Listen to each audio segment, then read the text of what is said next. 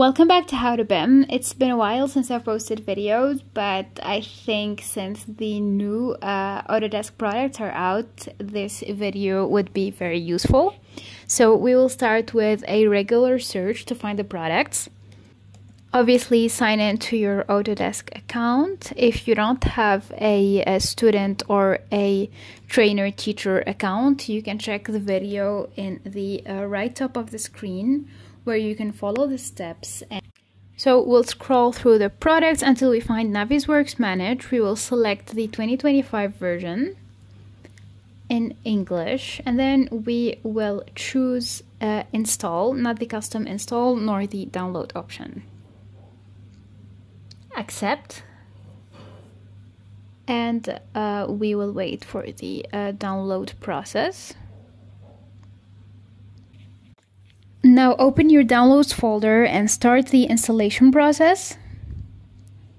If you are new to Navisworks and you want to learn how to set up your workspace or, or how to import models from Revit to Navisworks or anything related to clash detection, quantification, and all the other features provided by Navisworks, you, you can check one of my Navisworks playlists. I will make sure to include it in the uh, description and I'll link it in the right top of the screen. Now we will launch the installation process. That might take a while, so you can just go get something done while Navisworks gets installed. And here we go. From first glance, we have a new home screen. It looks a lot like Revit's and AutoCAD's home screen, which is a nice update. We obviously don't have any projects created, and assuming this is your first time uh, installing and using uh, Navisworks, I'm going to show you how to create a project quickly or simply how to uh, import a project into uh, Navisworks from Revit. Go and launch Revit 2025. If you don't have the 2025 version, you might as well watch the video in the description. That way you can work with multiple uh, Autodesk products uh, in the same version, which is uh, that will save you a lot of hassle. So I've went straight to the uh, default example project of uh, Revit 2025. I think it's the same project last year, but yeah, we will try to export it and then um, import it into uh, Navisworks. But when I go to the export tab, I do not find the option to use NWC exporter, which is the regular tool to export from a Revit to Navisworks. So I'm gonna go back to a search and go for Revit Navisworks exporter.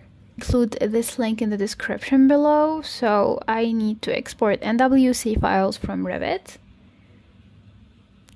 click here and scroll down. First one is Navisworks, Navisworks Freedom. It's not the one that we're looking for. Scroll down till you find the NWC file exporter. So the 2025 version is uh, separated into uh, two files. We have file 1 and file 2. Start with downloading the first one. But obviously, since we need two uh, files, it will not launch on its own, so we uh, should get the second file. Go to the folder and uh, launch your setup. Accept the uh, conditions. Go next.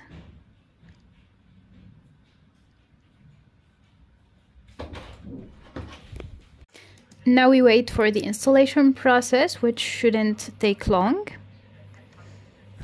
and then we can execute the program. Now we should launch Revit again and go to File and Export and now we can find the NWC exporter. So try to find the right location for you and export the project.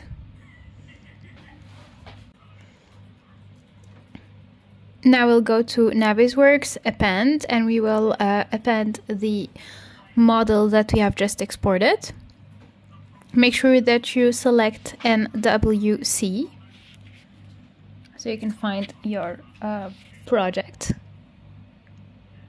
And here we are.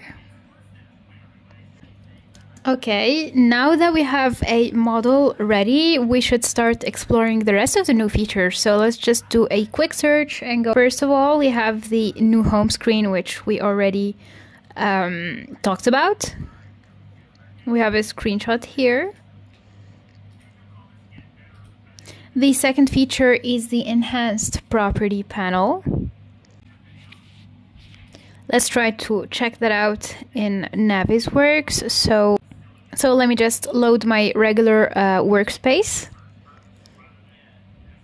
You can find, uh, you can learn how to create a workspace from uh, one of the videos in the description below. Now I'm going to select some elements and we can uh, find them in the selection tree. And then on the other side of the screen, we have the property tab, which did not look like that in the previous versions.